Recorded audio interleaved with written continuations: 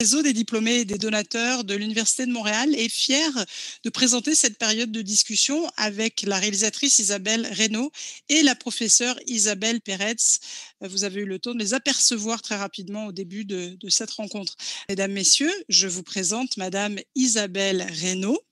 Euh, scénariste, réalisatrice et professeure euh, en cinéma au département d'histoire de l'art et d'études cinématographiques de l'UDM. Elle s'intéresse à l'écriture et à la lecture de scénarios de films ainsi qu'à la réalisation. Elle est aussi, elle a été aussi professeure euh, invitée dans plusieurs universités à travers le monde, dont le fameux MIT. Isabelle a écrit plusieurs scénarios et a réalisé plusieurs films, dont Le cerveau mystique, pour lequel elle a reçu le prix Gémeaux du meilleur documentaire catégorie scientifique en 2009. Son premier film, Le Minot d'or, sur la vie quotidienne de cinq déficients intellectuels, avait quant à lui euh, remporté le prix Jutra du meilleur documentaire 2002, ainsi que deux prix Gémeaux pour le montage, image et la musique. Isabelle Reynaud, bonsoir et merci d'être parmi nous. Bonsoir, merci de ton invitation, c'est fantastique. Je vous présente maintenant euh, Madame Isabelle Peretz, qui est titulaire de la chaire de recherche du Canada en neurocognition de la musique et de la chaire Casavante en neuropsychologie et cognition musicale. Elle a fondé et co-dirigé jusqu'en 2018 le BRAMS, le laboratoire international de recherche sur le cerveau, la musique et le son. Grâce à Isabelle Peretz, Montréal est aujourd'hui la capitale mondiale de l'étude du cerveau musical. Bonsoir Isabelle Peretz et merci d'avoir accepté notre invitation. Bonsoir. Alors, pour débuter, Madame Reynaud, j'ai envie de vous demander ce qui vous lie à Isabelle Peretz. Pourquoi? Est-ce que vous pourriez nous expliquer pourquoi à notre public, pourquoi vous nous avez demandé qu'elle se présente avec vous ce soir? Je précise que Madame Reynaud n'a pas voulu avoir les questions d'avance. c'est ça. Donc, je ne sais pas quoi répondre. Non, non. En fait, euh, c'est grâce au docteur Isabelle Perret si ce film-là a été rendu possible parce que c'est elle qui a été vraiment euh, ma première alliée pour aller chercher les premiers fonds de recherche sur euh, le cerveau, la mémoire et la musique. Il y a l'Université de Montréal, bien sûr, qui nous relie parce que nous sommes collègues, même si nous ne sommes pas du tout dans les mêmes facultés. Puis je pense que ce qui nous relie, bien sûr, c'est une passion mutuelle pour la musique, le cerveau, les problèmes, euh, comprendre ce qui se passe, trouver des solutions. Et euh, je suis euh, ravie que la vie ait mis Isabelle Peretz sur mon chemin. C'est une belle réponse. Je pense que c'est un bel hommage. Isabelle Peretz, vous voulez ajouter quelque chose ou on passe à la prochaine question? On passe à la prochaine question. Je ne veux pas vous mettre mal à l'aise. Alors, vous avez, euh, vous avez fait votre retour après 30 ans, à la, vous avez fait votre retour à la musique après 30 ans euh, et parliez au moment du, du film euh, de, de, d'écrire. Euh, donc j'ai envie de vous dire, où est-ce que vous en êtes aujourd'hui euh, par rapport à ça? Mais je pense qu'il n'y a pas si longtemps que ça euh, que ça a été filmé, parce qu'il faut savoir que Isabelle a travaillé avec nous depuis très longtemps. Alors Isabelle, c'est le genre à aller dans le détail, elle enregistre énormément, elle prend beaucoup de notes. C'est incroyable. C'est tout sur ma vie en 10 ans, ou à peu près, professionnelle bien sûr, mais à peu près. D'ailleurs, elle est venue filmer quand on faisait la guitare, ça n'a rien de professionnel. Alors c'est vrai que j'ai arrêté de jouer pendant 30 ans. Euh, la, raison principale, les raisons principales, c'est que dans, dans, le domaine de la science, ça devenait de plus en plus clair que euh, la musique avait des bénéfices et en vieillissant, ben, je me suis dit, ben, si, la science, euh, si je respecte ce que je lis, ben, il faudrait que je m'y. Mais aussi, euh, je vais faire un peu de promotion pour moi-même, euh, Isabelle. Vous avez filmé cet événement-là aussi, d'ailleurs. Et en fait, ce que j'ai écrit, c'est un livre. Est-ce qu'on le voit? Oui. Apprendre la musique. Oui. oui. qui a été publié en 2018 et qui, qui vraiment euh, rassemble toutes les données en neurosciences pour euh, convaincre que la musique euh, est importante et qu'il faut apprendre à faire de la musique. Ça ne touche pas tous les aspects que, pardon, qui ont été tournés dans le film, mais ça, ça en touche certains, disons. Mais disons que dans le couple d'Isabelle, je suis la science et elle est le cœur, peut-être que pour reprendre le, médecin qui était. Euh, mais c'est assez vrai, elle arrive à faire parler n'importe qui. Ben, vous formez effectivement dans ce cas-là un beau duo et puis vous avez produit quelque chose, effectivement, votre rapport à la musique. J'ai envie de, renvoyer un peu la question à Isabelle euh, Reynaud. Pourriez-vous nous expliquer votre rapport vous-même à la musique? Et puis, j'ai envie de vous poser la question qu'on a dû vous, vous poser déjà des, milliers, des milliards de fois, pour ne pas dire des plus. pourquoi ce sujet et quelle a été la genèse finalement du documentaire? Ben, en fait, euh, moi, j'ai grandi dans une euh, famille, ma famille élargie. Euh, du côté de mon père, mes oncles, mes tantes, cousins, cousines sont nés sourds parce que mes grands-parents paternels étaient cousins germains.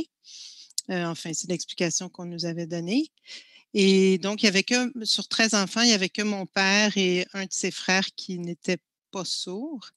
Et toute petite, j'ai compris à un moment donné que euh, moi, j'entendais, puis que mes cousines n'entendaient pas. Puis une image qui a été vraiment saisissante pour moi, c'est que je suis arrivée au Nouvel An, puis on est, rentré par le sous-sol chez mon grand-père. Il y avait plein de manteaux, plein de bottes de ski, de, neige et tout.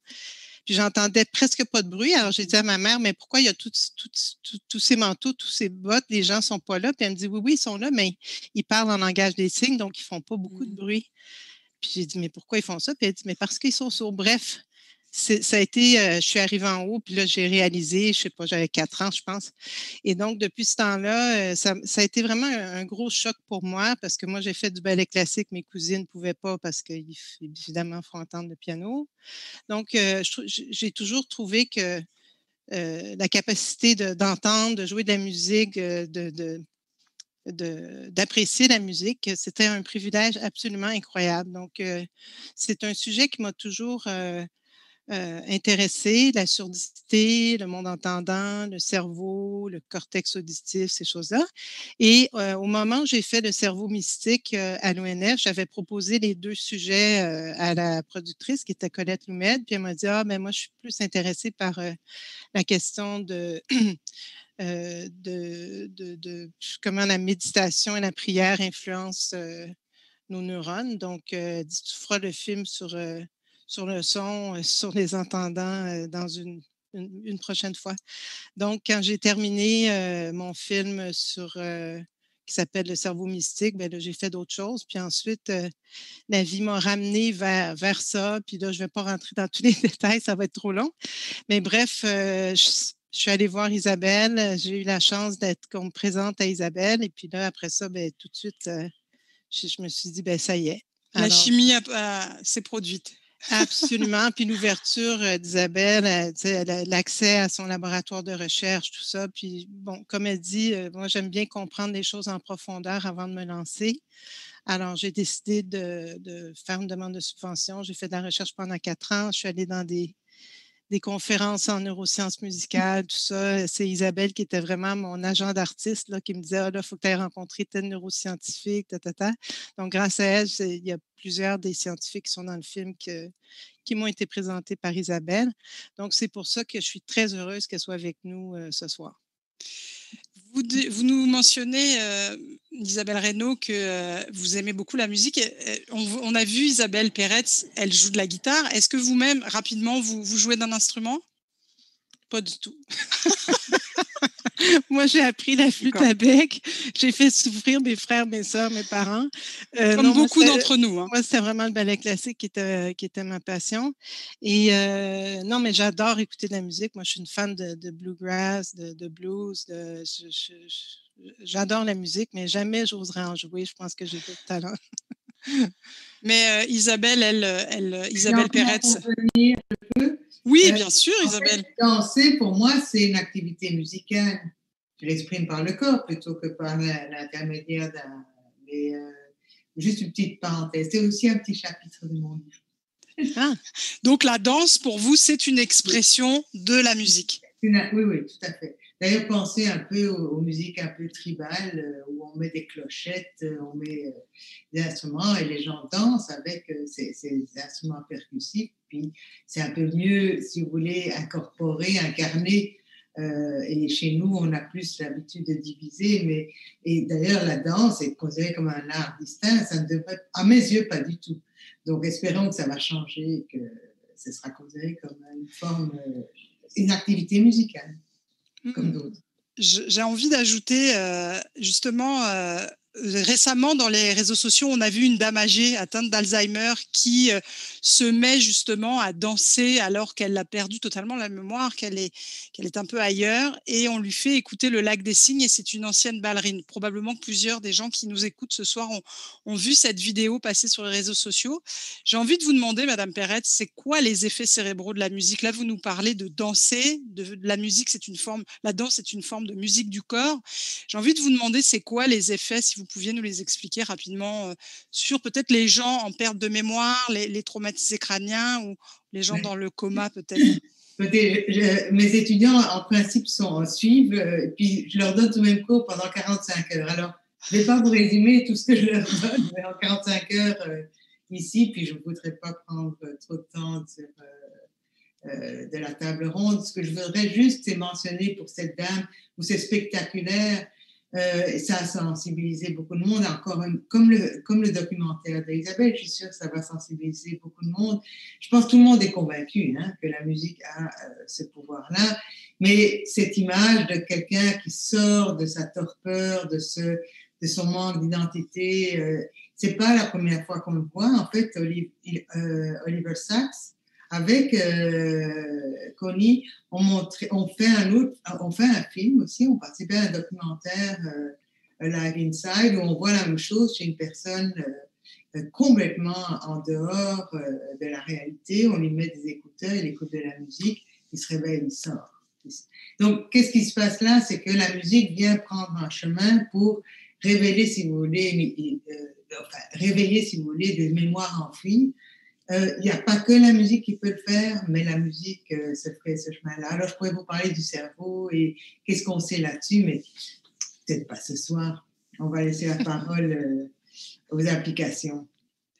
Alors, merci beaucoup, Madame Perret. Justement, euh, euh, avant de, de je, vous, je, vous, remercie d'abord pour ce début d'échange. Puis, avant de passer aux questions du public, je vous, je vous informe que euh, nous avons un invité spécial ce soir sur la suggestion d'Isabelle Peretz. Cet invité, c'est Isabelle Reynaud. Je m'excuse, Madame Peretz.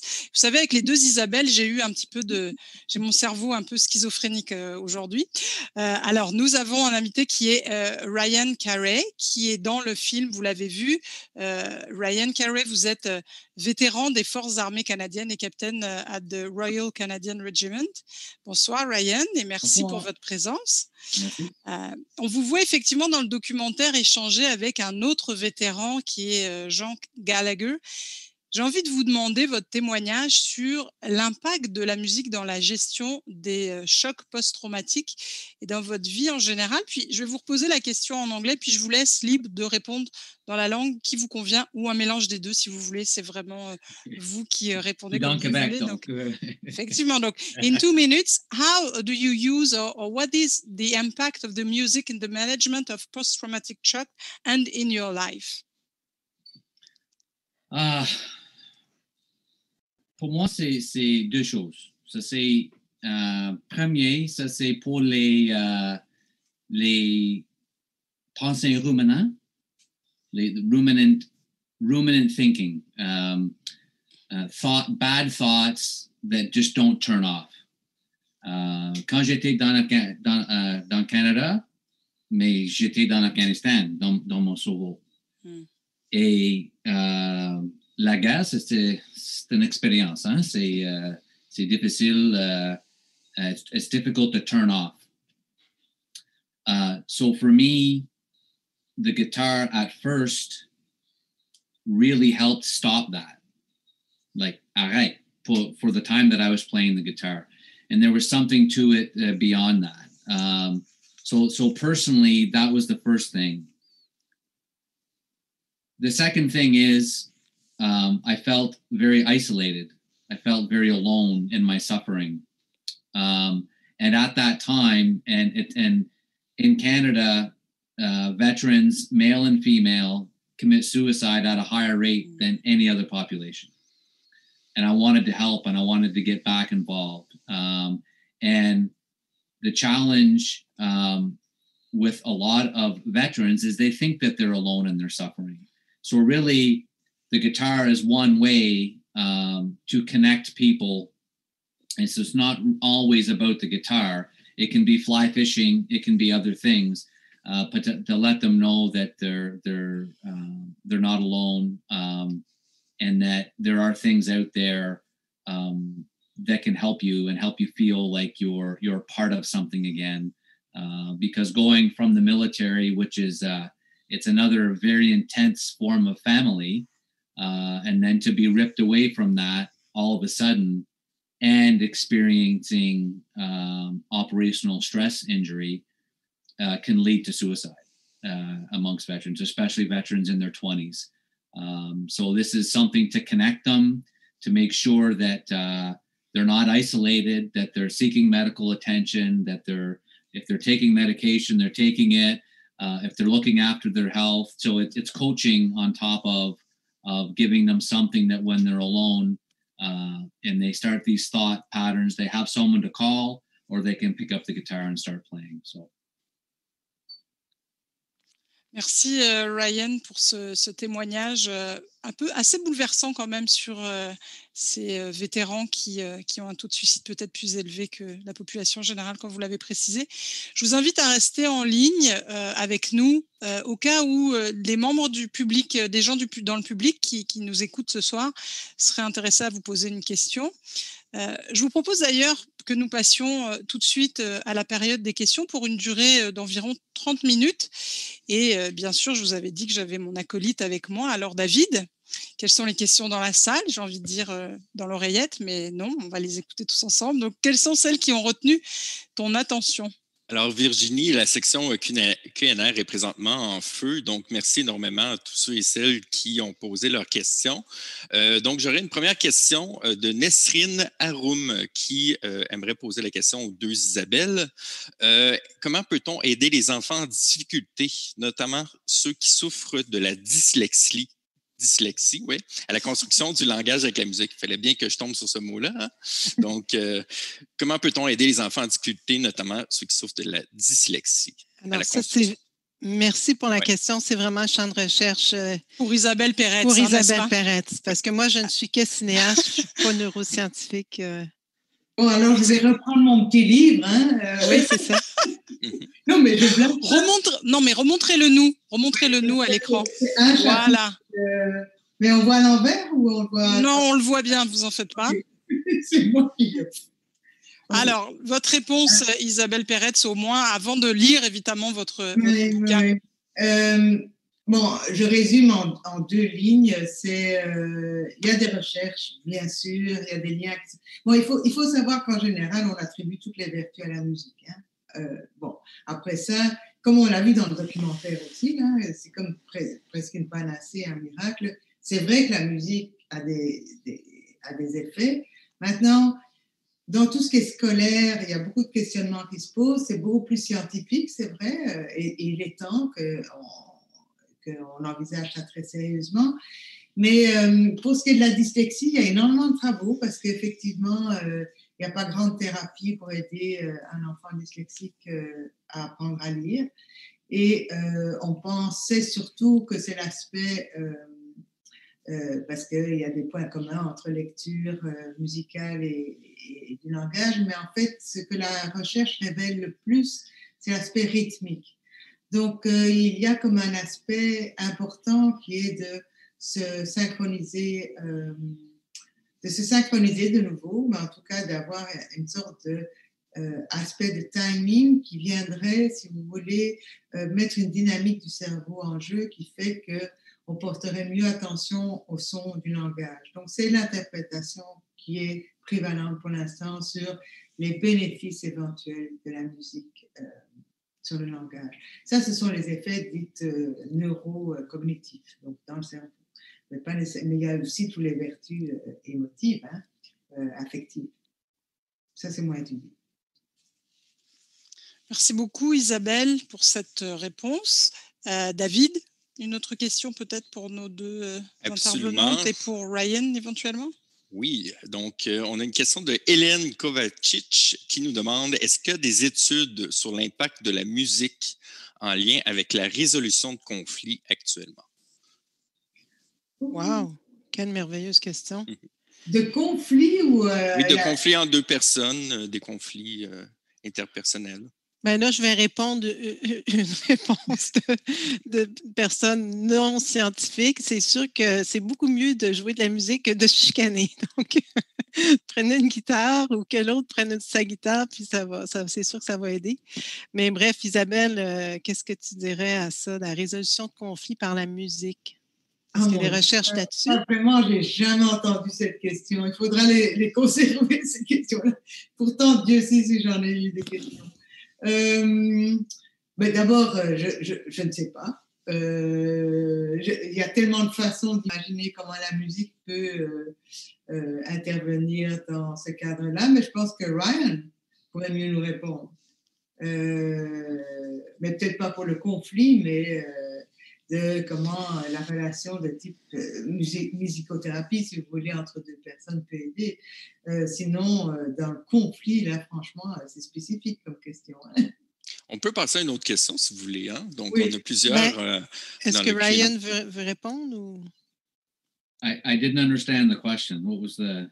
Oh, the question was, uh, can uh, is there any research done about conflict resolution in music playing?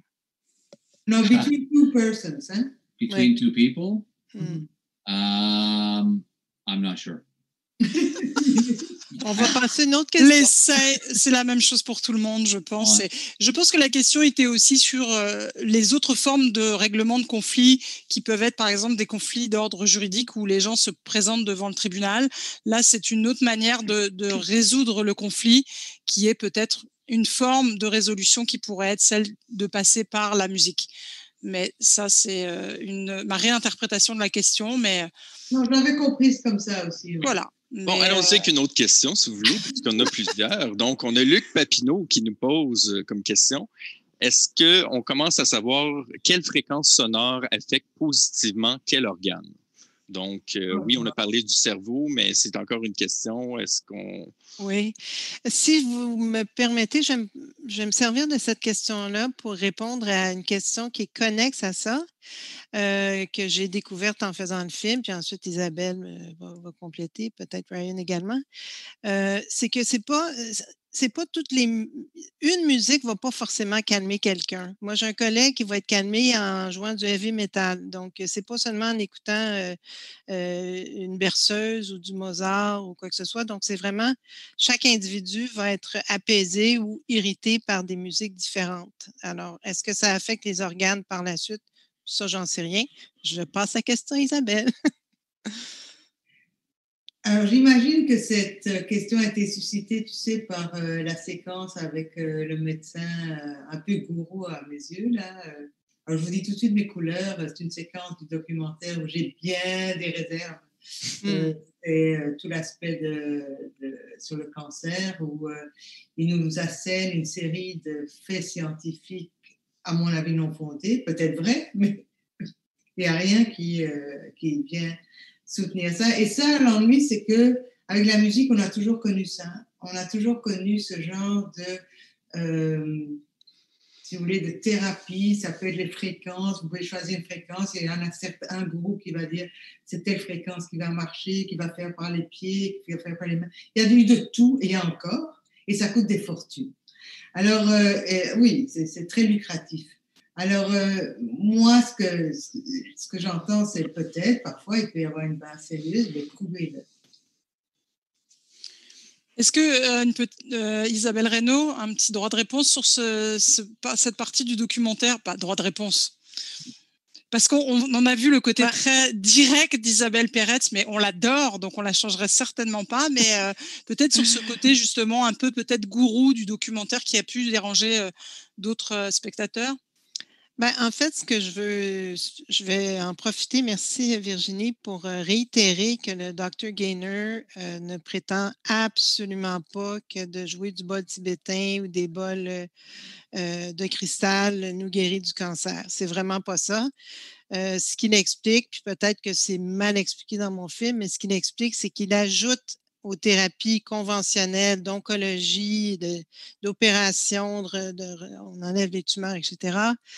Il ajoute à ça, il encourage ses patients à s'aider en méditant, puis en euh, méditation active avec les bas tibétains, mais jamais il prétend que euh, ces vibrations-là vont guérir du cancer. C'est ce qu'il a dit très clairement, puis je lui ai fait répéter deux, trois fois, justement parce que je suis une universitaire, je ne voulais pas me faire embarquer dans un truc euh, euh, non pertinent ou chamanique. donc, ce qu'il a répété à plusieurs reprises, c'est que ça apaise les patients. Et donc, quand on est apaisé, ben, on reçoit les traitements peut-être de manière plus, plus sereine que si on est complètement dans l'agitation et la colère. Euh, c'est sûr que la chimiothérapie, c'est pas une c'est pas une partie de plaisir. Donc, euh, c'était dans, c'était dans ce contexte-là. Puis, c'était le contexte euh, aussi d'utiliser les, connaissances traditionnelles de l'Ouest et de l'Est, de l'Occident et de l'Orient. Donc, mais moi, je ne l'ai pas perçu comme gourou personnellement.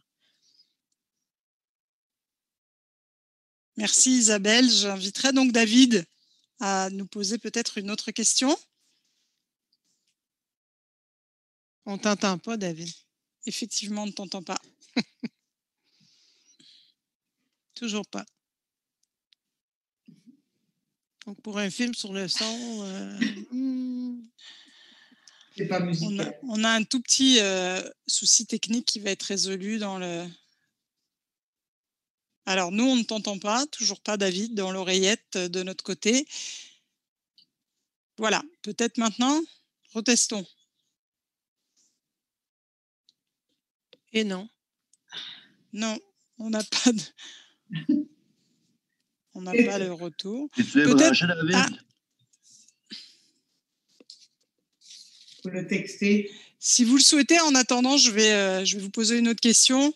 J'avais euh, justement, on parle de, du matériel que vous avez, Isabelle Reynaud, euh, peut-être encore à disposition.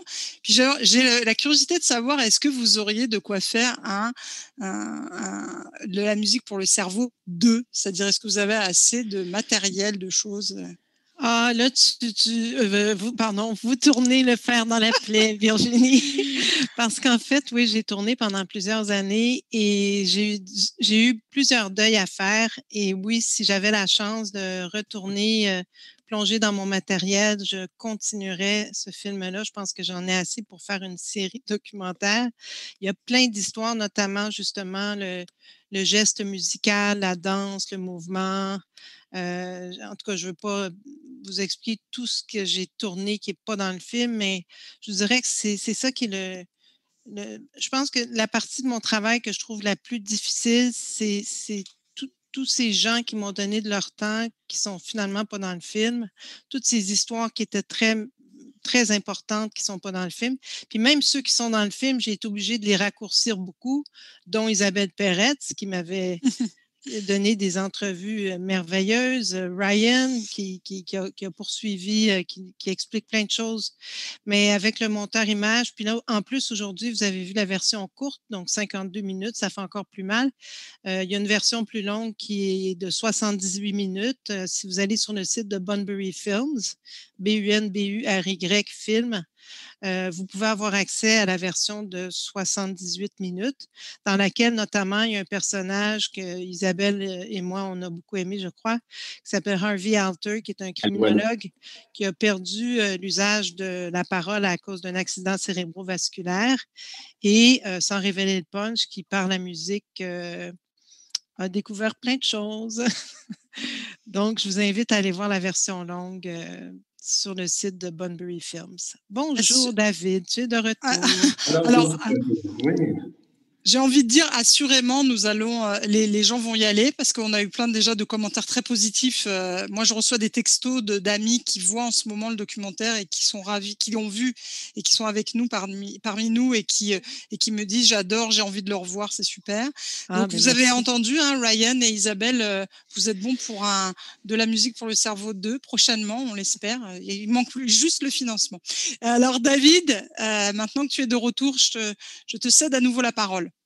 Bon, je suis de retour officiellement. Désolé pour ces pépins techniques. Je salue euh, nos techniciens euh, en coulisses. Merci énormément. Donc, euh, je parlais d'une question de Jeanne Dansette qui, elle, a été complètement séduite par le bol tibétain dans le documentaire. Elle pose comme question, est-ce que c'est tous les instruments qui sont égaux pour l'effet sur le rythme cardiaque? Est-ce que jouer de la clarinette, par exemple, pourrait être aussi efficace que la guitare? Est-ce que tous les instruments sont égaux finalement? Alors, je vais répondre en tant que cinéaste, non en tant que médecin, ni musicothérapeute, ni neuroscientifique. Donc, en tant que cinéaste qui a filmé beaucoup de gens, beaucoup de musicothérapeutes, de neuroscientifiques, euh, je peux vous dire qu'ils n'ont pas la réponse à ça pour le moment. Puis Isabelle pourra me corroborer.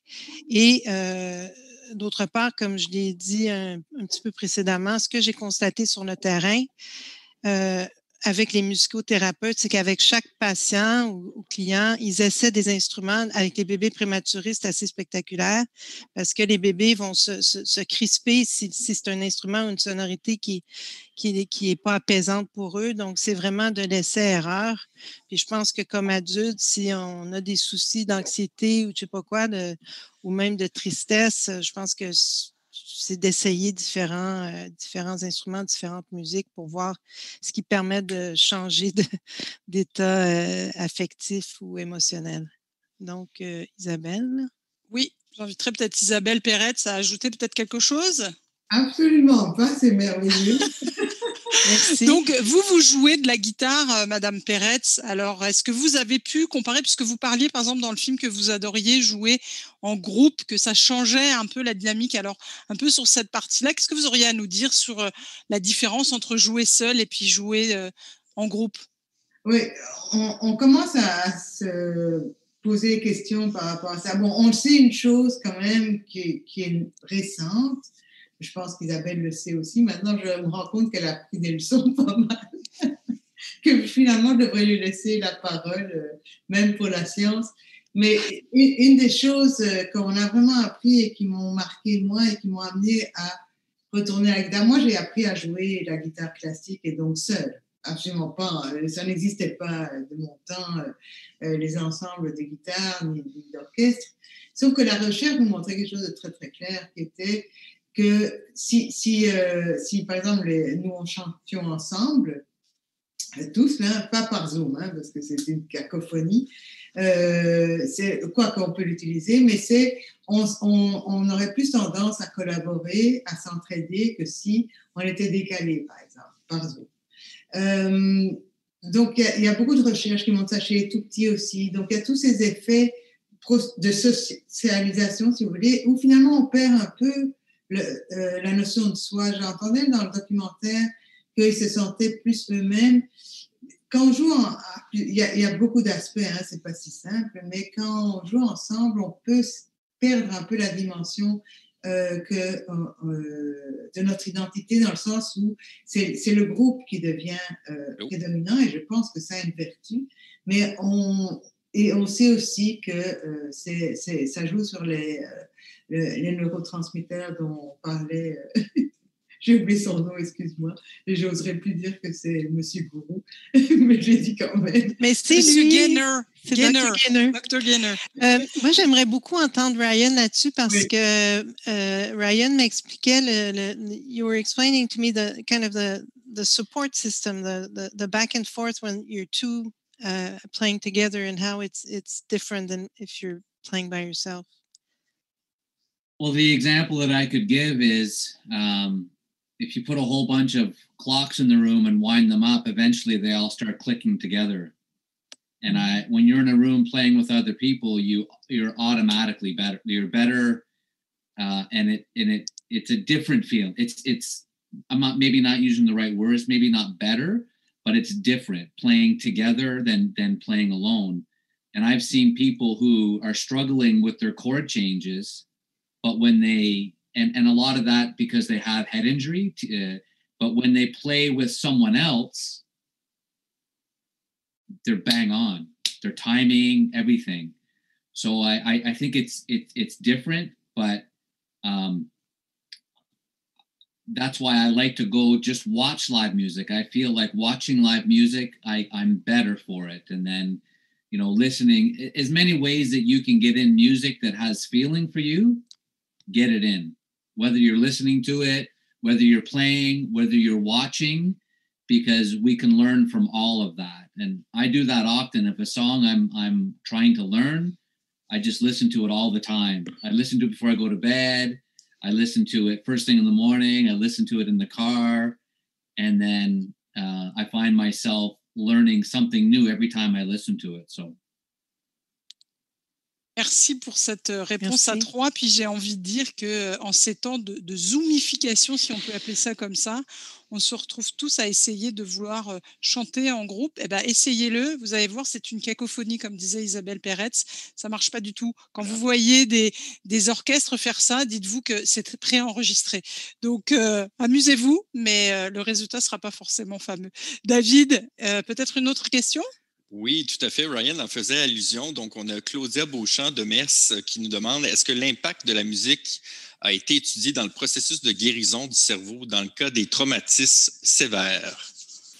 Ah, mais ça, euh, c'est sûr qu'Isabelle va pouvoir répondre, mais euh, Ryan travaille. ben, Ryan, it's a question about concussions. And, yeah, well, I work for, um, I'm a military advisor for the Concussion Legacy Foundation Canada. Um, and I played in the Canadian Football League. I played in university. Um, I went uh, in the military, and at every level of sport and in the military, I had head injuries the whole time. So there's a connection between head injury and and and mental health challenges. I don't know the scientific answer, but I know at some point in time, my brain was scrambled. I couldn't put things together. And then when I started playing music, my brain, I could, it became more organized. So that's not, that's just from a personal experience. And I know other veterans have said the same thing. The ruminating thoughts, the inability to control the thinking, it gets under control.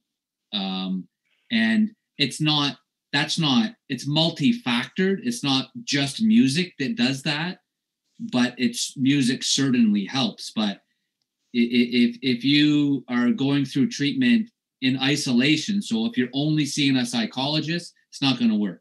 If you're only seeing a doctor, it's not going to work. If you're only playing music, it's not going to work you you it's you need to to put it all together and and and combine it and all of them all of those things work together Madame Peretz, vous voulez rajouter un point? En fait, j'essaie de me demander, est-ce qu'il y a vraiment de la recherche qui a été faite sur... On, on parle des traumas crâniens, c'est ça? Oui. Euh, je pense pas qu'il y en ait. Curieux, hein? Euh, Ou en tout cas, je ne les connais pas. Euh, il y a peut-être il y a sûrement la musicothérapie, parce que la musicothérapie est un peu, s'applique à toutes conditions en demande, en fait. Euh, euh mais je, non, je ne connais rien de, sur ce sujet-là. Le trauma, c'est quelque chose de, complexe, hein, parce que c'est effectivement, euh, c'est, il y a un coup, généralement c'est un coup euh, sur la tête, puis ça se répercute à différents niveaux. Donc, c'est vraiment euh, difficile de savoir qu'est-ce qui va. C'est surtout l'attention et toutes les fonctions de base Alors, euh, d'en rajouter de la musique, je ne sais pas. je, I would say I would say a lot of people that get concussions have the same symptoms that I had from post-traumatic stress, ah. ruminating thoughts, anxiety, depression. So we often say how you got there doesn't matter. That I mean for a for a doctor it does, but as a patient, if if if music helps you calm your those thoughts, whether you you became anxious or depressed through war or through uh, sexual trauma, child abuse, um, or head trauma, then something like that. Um, again, how you got there doesn't matter. If it helps you, then then then by all means, I think it's. Uh, oh, yeah. for sure. Mm-hmm. Merci pour euh, cette réponse encore multiple. C'est bien agréable de vous avoir tous les trois. David, peut-être une dernière question? Oui, encore, les questions vis-à-vis de la science sont très populaires. Donc, on a Frédéric Morier qui nous pose comme question comment on arrive à déterminer que les bébés reconnaissent la musique entendue intra-utérine? Ah, OK. Euh, ils sont vraiment curieux. Hein? Oui, ils sont très curieux. C'est vraiment pas une question euh, habituelle du tout. Parce que j'ai toujours l'habitude de donner des conférences pour le grand public, puis euh, celle-là non plus n'est jamais venue. alors, il y a plusieurs façons. Il y a la façon high-tech qui est maintenant d'utiliser la MEG sur le, le, ventre de la mère et d'arriver à distinguer évidemment les battements cardiaques de la mère et du fœtus. Mais je pense que le fœtus, il est beaucoup plus rapide et donc on peut le distinguer. Donc oui, oui, on enregistre la reconnaissance musicale euh, du fœtus. Il faut aussi savoir que euh, le, fœtus entend avant de voir. Donc les trois derniers mois de gestation, le, fœtus entend. Et donc entend effectivement euh, de la musique et effectivement va s'en souvenir par la suite. Ça, c'est la réponse de nouveau un peu courte. Euh, Isabelle Reynaud, peut-être, euh, comment ça se passait avec les bébés prématurés? Puis euh, quel était le rapport, peut-être pas évidemment avec les bébés directement, mais plutôt avec leurs parents lors du tournage du film? Je suis un petit peu curieuse de savoir avec ce, groupe en particulier. Ben, effectivement, c'est une excellente question parce que on, a tourné euh, pré-COVID, hein, évidemment, puis euh, mais on avait les mêmes protocoles que si on était en pandémie, c'est-à-dire désinfection totale des équipements, euh, lavage de mains, des, il fallait avoir des en tout cas, ben, bref, on, était euh, parce que ces bébés-là sont aux soins intensifs. C'est pas une mmh. maternité euh, normale. Ils sont vraiment aux soins intensifs. Puis il fallait laisser de la place. Il fallait que mon équipe laisse de la place au cas où le, bébé euh, tomberait en détresse respiratoire, par exemple, qu'on puisse le sortir de là, que, son lit puisse sortir rapidement. Donc, c'était toute une logistique en termes de tournage. J'avais deux caméramans, un preneur de son, et il fallait que c'est un, excusez-moi l'expression, mais c'est un hit and run, c'est-à-dire qu'on n'allait pas passer trois heures puis demander au bébé de, de ressourire, puis de repleurer, puis de se rendormir, ni la mère. Donc, j'étais assez, euh, assez stressée. Euh, ben, je, ça paraissait pas du tout, là, mais je veux dire, dans mon cœur, je me disais, qu'est-ce qui va se passer? Puis en fait, ce que j'ai trouvé d'assez spectaculaire, ça m'a encore plus convaincu sur les bienfaits de la musique sur le cerveau et sur la, la physiologie sur le corps humain, c'est que les bébés se transformaient très, très, très rapidement. Et euh, les mamans aussi, hein, vous avez vu qu'il y a une maman qui se met à, pleurer, mais ça faisait pas quatre heures qu'on était là puis qu'elle pleurait parce qu'elle n'en pouvait plus qu'on soit là. C'est tout, tout, tout, se passait. Euh, les bébés, je restais entre 20 et 30 minutes par séance. J'en ai fait plusieurs. Puis je vous dirais, vraiment, on voyait les battements cardiaques s'apaiser. Mmh le, bébé est tombé endormi. Il y a certaines musiques qui se mettent à pleurer. Donc, euh, des fois, c'est des pleurs qui sont nécessaires. Hein. Il faut que le bébé s'exprime, comme les humains aussi. Nous aussi, on a besoin de, rire, de pleurer, de, vivre toutes sortes d'émotions. Et, la musicothérapeute, Tania Lavoie, était comme une magicienne à mes yeux parce qu'elle savait tout d'un coup, ah, là, je suis mieux de chanter. Puis j'ai vu le bébé, dont Logan, qui était très souffrant, mais il y avait Milo aussi, euh, carrément s'endormir. Donc, c'est pas nous qui lui avons donné un sédatif ni l'infirmière. Donc, euh, alors qu'au début du tournage, il était tout crispé. Euh, je le voyais, il se dépliait même pas. Puis voilà. Donc, c'est assez, là encore, c'est, c'est comment dire, qu'on soit d'accord ou pas, c'est quelque chose qu'on atteste, qu'on on est, on, est témoin de ça. C'est pas arrangé avec euh, le gars des vues on, le voit tout à fait dans le, dans le documentaire. Vous parliez justement de, du cœur, les battements du cœur qui s'apaisent. Puis nous, on a l'impression de s'apaiser en même temps. On écoute ça. Puis euh, Tania, la voix, elle est effectivement assez formidable et euh, on l'écoute et on a envie d'être, on a envie de se faire chanter des berceuses, même, même en étant de, de grands adultes. David nous dit qu'il y a beaucoup de questions. Donc, euh, le temps file, mais j'ai envie de lui donner la parole pour une, toute dernière question avant le, mot de la fin pour cette période d'échange avec euh, nos trois intervenants. Donc, David, dernière question. Merci. Oui, tout à fait. Donc, la dernière question serait posée de la part d'Elisabeth Dionne, qui se demande Travaillez-vous avec notre système scolaire québécois euh, pour favoriser l'intégration de la musique euh, sous toutes ses formes dans les classes? Si oui, comment? Sinon, quelles recommandations pourriez-vous faire euh, à ce niveau-là? Ah, ma réponse va être très courte. Alors, et de nouveau, Isabelle l'a filmé parce qu'on a créé, on a écrit un manifeste, on a créé un groupe pour avoir euh, plus de, musique dans les écoles, bien sûr, mais pas rien que dans les écoles. Et le site, c'est musique.qc. C'est le site sur lequel il y a toute cette documentation, vous pouvez en savoir plus. Mais oui, oui, je, suis engagée.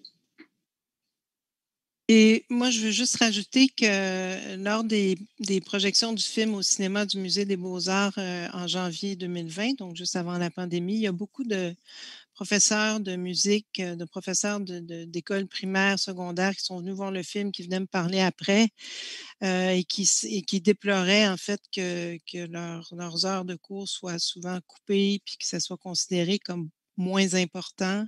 C'est arrivé au sport aussi. Moi, je pense que c'est déplorable. Je pense que les enfants doivent faire du sport, doivent, jouer de la musique, faire des arts. Euh, ça aide le cerveau à comprendre les maths après. du bien. Ouais. Donc, euh, merci à vous deux, mesdames. Alors, comme je le disais, malheureusement, le temps file. Et euh, avant de, terminer cette période d'échange, j'ai envie de demander à nos deux intervenantes, Isabelle Reynaud et Isabelle Peretz, leur petit mot de la fin en deux minutes. Euh, et en l'occurrence, qu'est-ce qu'elles souhaiteraient que l'on retienne du film ou même de la soirée, ou même autre chose? Peut-être Isabelle Peretz va nous montrer à nouveau son, son bouquin. J'ai envie de la taquiner et euh, je vous donne la parole, euh, Madame Peretz, puis après euh, Madame Reynaud. Mais je ne pense pas avoir vraiment un mot de la fin, si ce n'est que je pense que, le travail d'Isabelle Reynaud est fantastique pour effectivement sensibiliser. je pense qu'on n'a pas besoin de sensibiliser la, population, mais peut-être sensibiliser les autorités qui prennent les décisions. Alors, euh, je lui laisse certainement le mot de la fin et je ne brandirai pas mon livre pour la troisième fois. Je vous taquinais, Madame Peretz. Merci beaucoup, Madame Reynaud. Ben, merci. Moi, j'aimerais que Ryan ait un mot de la fin aussi. Là. Donc, euh, euh, je veux premièrement remercier des gens comme Ryan, des gens comme Isabelle, donc les participants de mon film, de m'avoir donné du temps, de m'avoir fait confiance. Le documentaire, ça commence par la, hein, un lien de confiance entre des gens parce qu'on est, on peut être un peu intrusif, là, on est très présent dans la vie des gens qu'on suit. Donc, merci infiniment parce que sans les participants du film, évidemment, il n'y aurait pas de film. Je suis aussi très reconnaissante euh, du fait que j'ai pu avoir des scientifiques qui font des recherches fondamentales, des cliniciens et des gens, excuse-moi Isabelle, normaux, donc euh, qui jouent de la musique et qui, et qui l'apprécient. Et alors, évidemment, si vous aimez la musique, écoutez-en, mais allez voir aussi des films documentaires. Il y a, d'autres films qui, ont, euh, qui, sont hyper intéressants euh, sur ce sujet-là et sur d'autres. Et en terminant, j'aimerais que Ryan nous dise ce que la musique représente dans sa vie. Ryan, la parole est à vous. What, what does music represent for you today in your life? Uh, well, right now, especially with uh, with COVID, um, I'm still connecting with veterans uh, online. I teach I teach online, and we're still um, we just opened a, a, a, Vets Canada Center in uh, Montreal in NDG. It's not open yet because of all the COVID guidelines, but we're still moving ahead. And uh, as as a veteran, it gives me task, it gives me purpose, um, and uh, it's something I'll do for the rest of my life. And we're we're not just selfish and thinking about veterans we're also pulling in Père dans la uh, and anyone else, anyone that wants to be part of the center, because we deal with people with that have post-traumatic stress, that have complex post-traumatic stress, that have had suffered sexual assault, that have been abused as children. But as veterans, we can be leaders in the mental health community, and that's what we intend to do.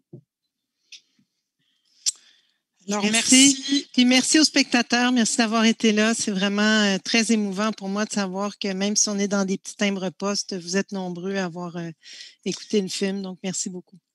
Alors, sachez que nous étions, nous sommes encore en ligne avec 137 personnes, Isabelle Reynaud. Donc, euh, je pense que on peut être très satisfait de, de, de, ce taux et de cette participation encore nombreuse à cette heure-ci de la, de la soirée. Effectivement, euh, on est au terme de cette activité, de cet euh, événement, de ce premier docu-conférence. J'espère que vous avez aimé la formule et les thèmes abordés. Comme le disait Isabelle Reynaud, continuez à aller voir des films documentaires, c'est important pour ceux qui les font euh, et vous aurez assurément du plaisir et de la découverte. Alors, on va vous placer dans le fil de discussion un lien vers un très court sondage. Je vous promets qu'il est très court. Euh, je vous invite à, y répondre euh, avant de nous quitter. Donc, le lien est dans le, dans le fil de discussion. J'ai le plaisir aussi de vous inviter pour le, le prochain numéro, le prochain docu-conférence qui aura lieu le jeudi 21 janvier 2021 euh, vous avez la fiche devant vous. Alors, c'est euh, dans une formule lunch, donc sur l'heure du lunch, dès 11h30. Et nous diffuserons un épisode de la série documentaire Intouchable, intitulé euh, L'homosexualité au hockey entre tabou et cliché, et recevront lors de cette activité, lors de cet événement, Marie-Claude Savard, qui est diplômée de l'Université de Montréal, elle aussi, comme l'est Isabelle Reynaud. Enfin, moi aussi, j'ai envie de vous euh, remercier. D'abord, de remercier chaleureusement nos deux intervenantes, donc Isabelle Reynaud et Isabelle Peretz. Je suis assez contente de moi, je ne me suis pas beaucoup trompée sur les deux Isabelle. Bon, une petite fois, c'est pas si grave. Ainsi que euh, notre invité spécial aussi, un merci euh, à Ryan Carey pour euh, la participation à cette activité.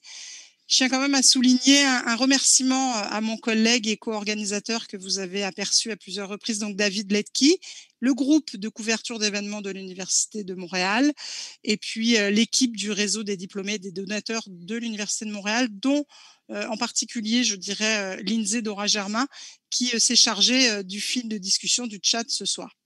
Enfin, un grand merci à tous. Vous étiez encore 137, comme je vous l'ai dit, en fin, de, en fin de soirée. Donc, merci, cher public, pour votre présence ce soir. On va rester en ligne encore quelques minutes. On va lancer le, le générique de fin euh, pour vous permettre d'accéder au sondage. Et puis, euh, j'ai envie de vous dire merci beaucoup. Bonne soirée. C'était donc. Euh, Puis merci Virginie, David. Euh, merci. Ça, ça a été toute une organisation. Merci au réseau des diplômés de l'Université de Montréal et à Virginie David. Merci beaucoup. Merci à vous et bonne soirée. J'ai envie de vous dire, euh, c'était Virginie Mesguich pour le réseau des diplômés et des donateurs de l'Université de Montréal. Bonne soirée et à très très bientôt. Merci.